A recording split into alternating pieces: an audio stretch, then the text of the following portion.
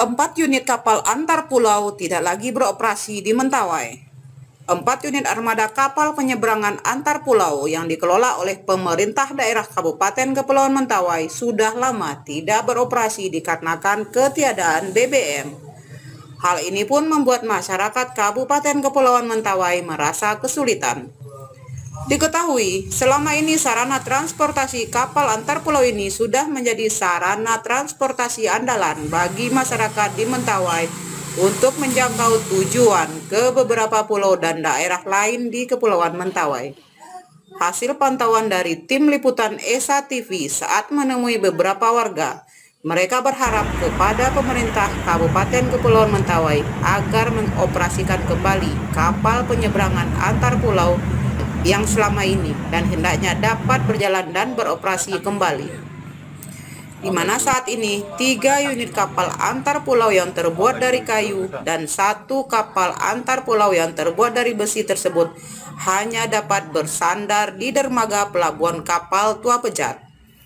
Saat ini, pemerintah Kabupaten Kepulauan Mentawai melalui Dinas Perhubungan Kepulauan Mentawai sudah mengantisipasi agar kapal penyeberangan antar pulau tersebut tetap dapat berjalan dengan baik dan lancar, yaitu dengan mengupayakan penambahan rute pelayaran kapal milik ASDP, di antaranya KMP Ambu-Ambu dan KMP Gambolo, dengan tujuan Tua Pejat ke Siberut dan rute Tua Pejat ke Sikakap.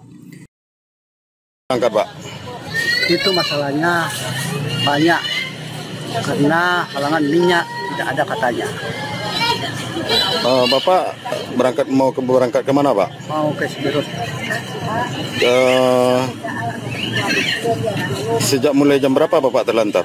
Sejak kemarin Pak, jam 8 sampai jam 3. Jadi harapan Bapak sama Pemda ini bagaimana, Pak? Ya, harapan saya kapal diberangkatkan sekarang juga. Berarti alasan kapal nggak berangkat, uh, ini apa yang kepastian infonya, Pak? Ya alasannya itu juga BBM. Itu harus diusahakan. Jangan di kami tidak ada campur tangan tentang, tentang BBM.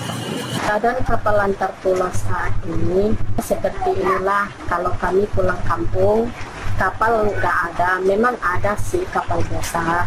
Harapan saya ke depannya oh, pihak pemerintah seluruhnya harus menjalani kapal antar pulau lagi seperti kami tumpangi dulu.